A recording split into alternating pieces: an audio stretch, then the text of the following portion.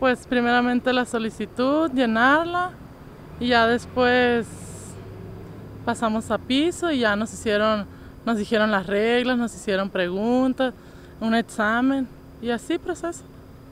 Ya que contestas el examen, ¿hacen el proceso de selección o aunque no vayan a quedar contratados, pasan todos los, los filtros? No, ya que haces el examen, si lo pasas, ya te pasan a entrevista y ya te, te dicen otras cosas y así. ¿Y cómo se están portando la empresa con, con los solicitantes? Pues se portan bien, pero son bien estrictos también. Sí, muy exigentes. ¿Cuántas personas son las que están aplicando el día de hoy, más o menos?